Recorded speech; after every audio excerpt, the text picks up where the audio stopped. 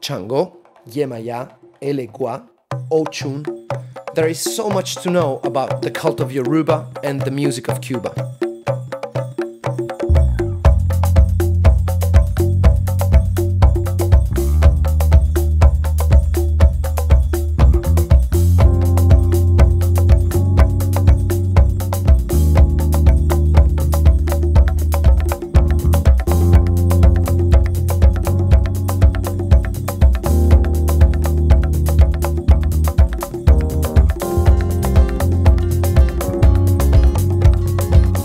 This is probably my most ambitious album yet.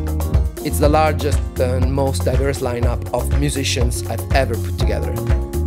I've got around 11 percussionists, 12 singers, drums, and the rest of a rhythm section, and a combined horn section of 8.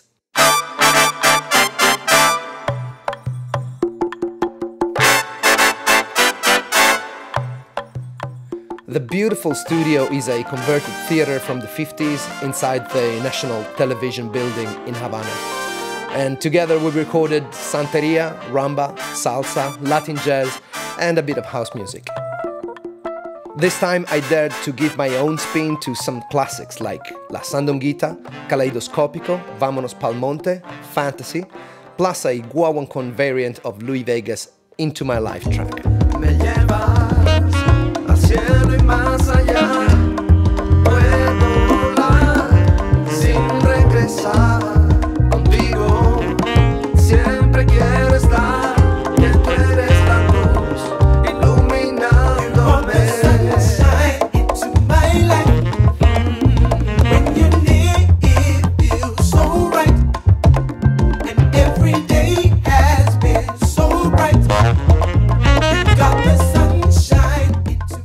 King Yoruba is my way of joining the dots, borrowing vibes from different parts of the world New York, Cuba, London, Africa.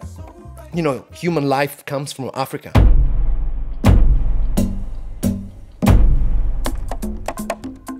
The bata drum, the communion of various people playing rhythms together, the repetitive beats.